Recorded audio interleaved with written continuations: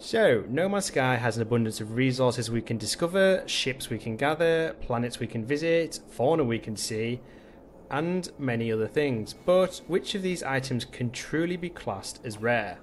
Now, I'm sure at some point all of us have come across things like Royal Exotic Ships, Paradise Planets, Diplos, S Class multi tools, or different varieties of freighters like the Dreadnought, for example but some of the things I'm going to be talking about in this video make each of those things look rather common.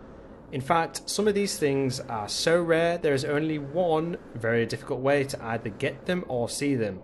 And another of them I've only ever seen once in my 6 years and 500 hours of playing No Man's Sky. So, without further ado, let's go ahead and get stuck in.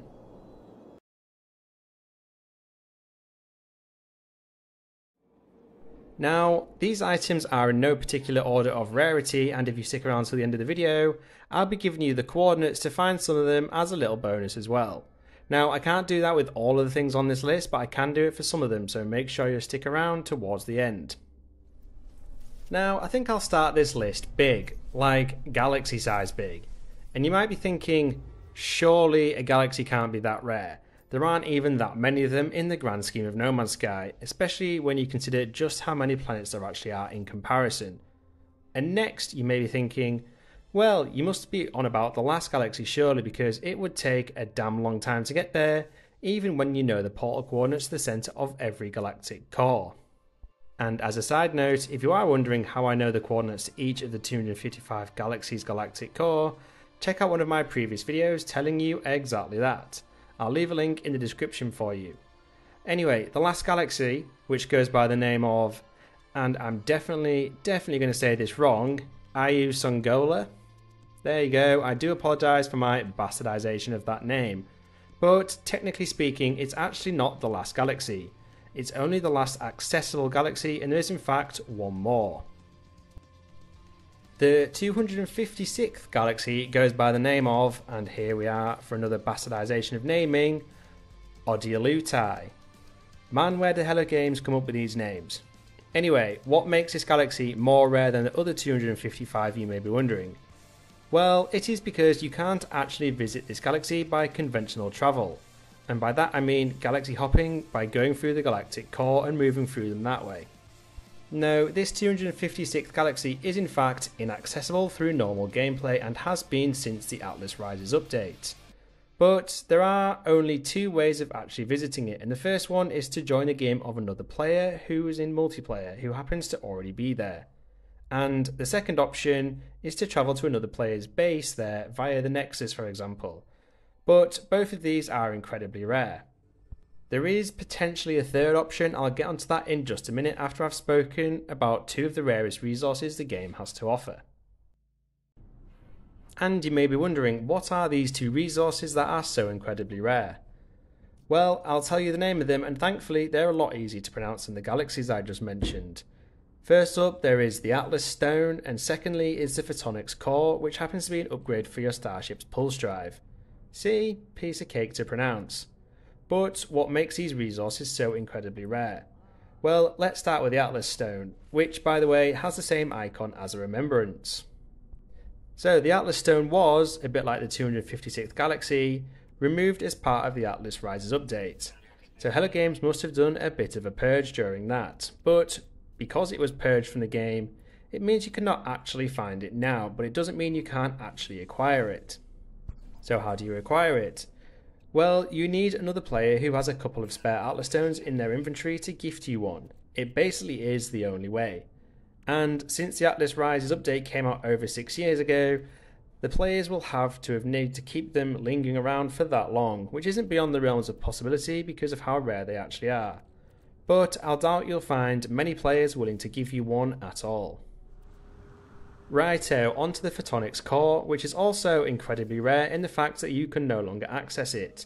But, unlike the Atlas Stone, this wasn't actually removed from the game during an update.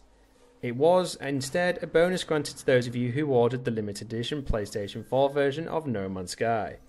And it was also part of the day one patch, but I think that's the only way you could have got it. You won't be getting it in any other way unless you try this next method I mentioned just a minute ago and even then I'm not sure if it'll work at all for the photonix core. So, the other way to access the seemingly inaccessible galaxy and the seemingly unobtainable resources would be to play an older version of No Man's Sky. Now, I won't go into full detail on the method of how this can be done on PC and in theory if you have a day one physical copy of No Man's Sky on the PlayStation 4 and then you have perhaps stuck it in your PS4 or 5 whilst not being connected to the internet so it doesn't update. Now, if you're a PC player, why not have a Google on how to get the version 1 of the game? It involves a bit of tinkering and coding, and then you can perhaps get these resources and then see that distant galaxy. I don't know if it'll fully work, but it's worth having a go, right? Now, on to the next item of our list. So let's talk about your character's appearance, and in particular, your head. Now, there are a number of different appearances one can have on their head, whether that be an alien race, a different iteration, or just a different cool helmet, a bit like the one I currently use. Now, some of these can be unlocked through quests, and others can be unlocked by purchasing them from the Quicksilver kiosk on board the Space Anomaly. However, not a single one of these items is what I'm actually talking about in terms of rarity. I am in fact talking about the exosuit, which is a helmet with a giant Xbox cross on the front. And I must admit, even though I play on the PlayStation, I would totally love to have this helmet, I think it looks really feckin' awesome. But what makes it the rarest helmet? Well, you could actually only get this as part of a pre order bonus when No Man's Sky was released on the Xbox, and there is no other conventional way to get it unless you know a thing or two about save editors, similar to how the previous step I was talking about. Anyway, I won't go into that method here because, well, you're guessing you all know how to use Google, right? So, let's move on and talk about the rarest starship. And as of the creation of this video, there, these are the different types of ship in No Man's Sky. So you've got shuttles, fighters, explorers, haulers, exotics, solars, salvaged, living, and sentinel interceptor ships. And of course, some of these are more rare than others, but one specific type of ship is more rare than all the others in the game. And I can honestly say that in over 500 hours of gameplay, I've never randomly come across one of these, even when I've spent time ship hunting in my earlier days. The only way I managed to get hold of this was finding, sorry, was using the exact coordinates to it, and I found those over on Reddit at r NMS Coordinate Exchange which is a really great community, by the way. You should definitely check it out. Anyway, I'm not talking about solar ships here, nor am I talking about the Alpha Vector or the new Sentinel starships. Hell, I'm not even talking about the Royal Exotic ships, I've come across a couple of those in my time. I am in fact talking about the Squid ship. You know, the one I spend my entire time flying around in now. These are, in fact, the rarest ships you can find in the game, and really, if you want to get your hands on them, you're going to need to know the coordinates of to them because, as I said, in over 500 hours, I've never come across one in the wild, so to speak. Now, if you're watching this down the line and Hello Games have somehow decided to add in ship customization to No Man's Sky, which by the way I highly doubt, then any ship can be totally unique and rare because, well, we can make them look however we want. But as I said, right now, as of the creation of this video, squid ships are the most rare ships in the game. So let's touch back down onto a planet's surface and talk about the rarest fauna in No Man's Sky. Now, you may be thinking, well, these creatures are all procedurally generated and are fairly unique themselves, so how can some be more rare than others? And to be fair, you're not really wrong. Creatures come in a whole host of different shapes and sizes in the game. They could be a large dinosaur looking thing, could be flying worms. Hell, I even, I even recently saw a ball of light rolling around, and I could feed it. As you do. Anyway, I'd probably say that's up there in terms of rarity, but they don't top the list. No, the most rare creatures you'll find in No Man's Sky are in fact robotic ones. I can count on one hand how many times I've seen robotic creatures in the game in over 500 hours. And I just so happened to have come across a Reddit post where someone found an ice planet with two different types of robotic fauna on, which is almost unheard of. You can ride them and they're pretty damn quick as well, which is rather cool.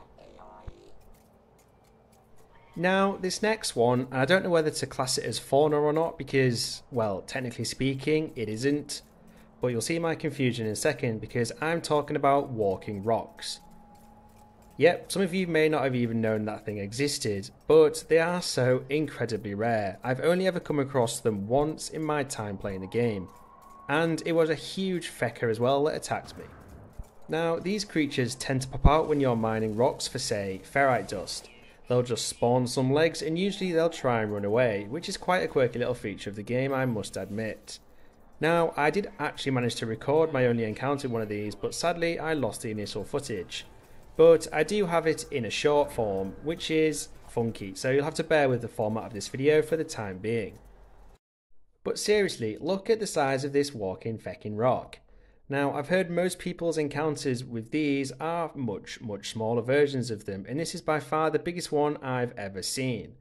It's incredibly rare to find these things, but if you do, you'll likely do it by mining rocks. And like I said, I've only ever come across these once, and this footage was originally recorded in December 2020. So that gives you an idea of just how rare these things actually are. Right, let's make our way back out into space and talk about planets. But for this one, I'm not actually going to be talking about the planet's biome or colour or whatever. That comes next. But one of the most rare sights in No Man's Sky when it comes to planets has to be colliding planets. Now, No Man's Sky has 18 quintillion procedurally generated planets, which is a fecking shitload, but how often do you come across colliding planets? Personally, I've only ever seen them when I've been given the coordinates to them on Reddit. So, as I said, in 6 years and 500 hours of gameplay, I've never actually warped into a system myself and seen them that way. And when you're actually down on the surface of a planet near the collision point, everything is on a slant and you're looking up directly at another planet, which is pretty damn cool. I reckon, in theory, though I haven't actually tried it myself, you could jetpack from one to the other, and the reason I haven't tried it is because it's actually very easy to die in these collision points. Because you could fall endlessly through the middle and then hit the ground, and well, we all know how that ends. Now, these collision points also have a knack for crashing the game or at worst, corrupting a save file. So if you ever do come across them, just bear that in mind. But it does look freaking awesome though, don't you think? Now, I couldn't do a video like this and not talk about the rarest type of planet. Now, as you'd probably expect, the rarest type of planet isn't actually as rare as some of the other items I've included on this list, but I think it's worth talking about them anyway. So, currently there are 11 main types of biome, and each one of them has a boatload of subtypes, and some are more common than others, as you'll find out just by exploring the game. But the one I've gone for here, I've chosen because in six years, I've only ever come across this type of planet twice, which in my book is pretty damn rare if you ask me. Like, I had considered things like dead planets, true paradise planets, or even hexagon planets, but I've come across them more often than this type of planet I'm talking about, and that type of planet is a planet of light. Now, rather unsurprisingly, these planets are absolutely littered with light fissures, which you can actually add to your base once you've discovered them. But this particular planet of light I came across had one type of fauna on it, which was literally a glowing ball rolling around, living its best life. Now, I'd say that's a pretty rare fauna as well. But another thing you'll notice on this planet is that almost all the colour has practically disappeared. And no, I'm not using a video filter here.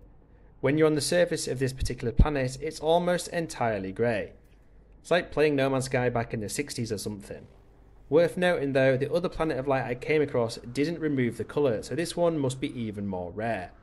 And they also tend to be stacked full of boundary failures as well, you know, because reasons, I guess. I do have a couple of honourable mentions with rarity in the game, so sticking with planets, I'll go for the ones with giant, well, rings on them, I guess. I call this one the donut planet because scattered throughout are these giant donuts. Like, if you watch me zoom out here and focus just on me in comparison to the size, you'll see just how big these things actually are. Like, my character looks absolutely tiny in comparison. Many years ago, I came across a similar type of planet with rings on them, but they had plant life on the top, but those rings were just as big. I believe the official biome for these kind of planets are mega exotic, so whilst not as rare as Planet of Light, they are pretty damn rare but awesome to explore nonetheless. Now, if you've been playing close attention, you may have noticed that I haven't mentioned multi-tools up until right now in this video. And the main reason for that is because, well, with the new staff being customizable, any of those could technically be classed as super rare because you can make them fairly unique. But I thought I'd give an honourable mention anyway, and probably the most rare multi-tool I could perhaps think of is the Royal Multi-Tool, but more specifically, an S-Class version of it. I've only ever come across C or B classes, never even an A, and especially not an S. Now, of course, you could upgrade them at great nanite cost, but finding an S Class one at Sentinel Pillars is probably the most rare kind of multi tool in the game.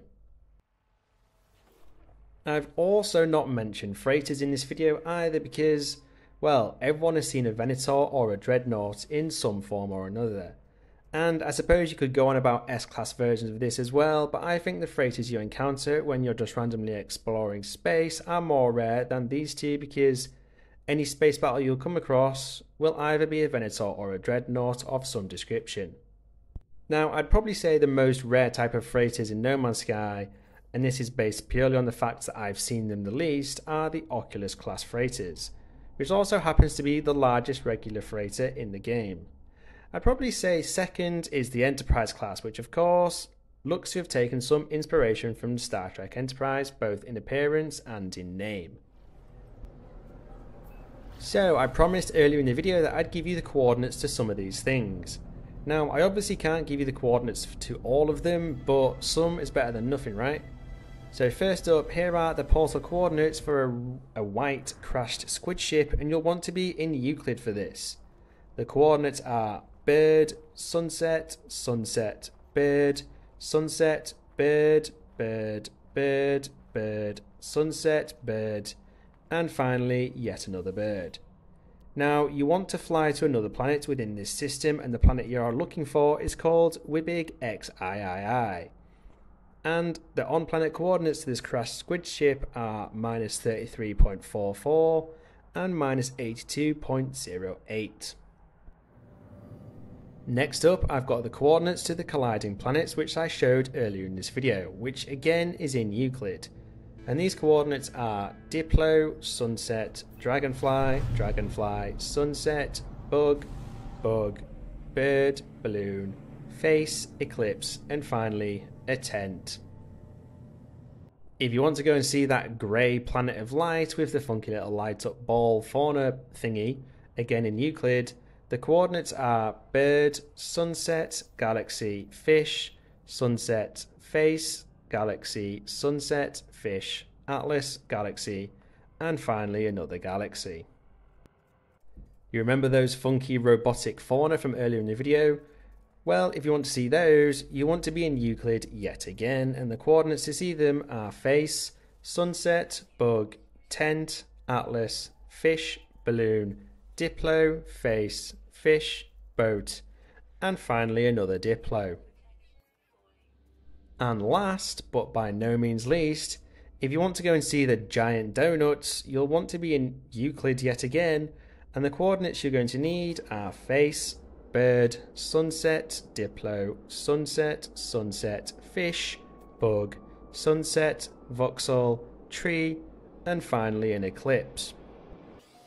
As always, shout out to the community over on Reddit at our NMS Coordinate Exchange for the coordinates of some of these insanely rare items.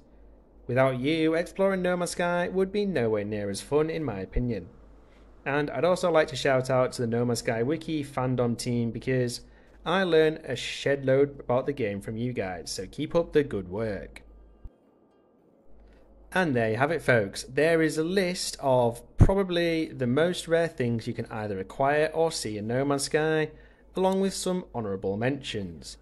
Now, if there are any other things that you think are worthy of being included in this list, or indeed as an honourable mention, why don't you leave a comment below letting us know what exactly that is. Now, I hope you enjoyed watching this video, and if you're still here, it would be totally awesome if you could support my channel by hitting those like and subscribe buttons. You can now also become a channel member as well. And as always, thank you for watching this video and I'll catch you in the next one.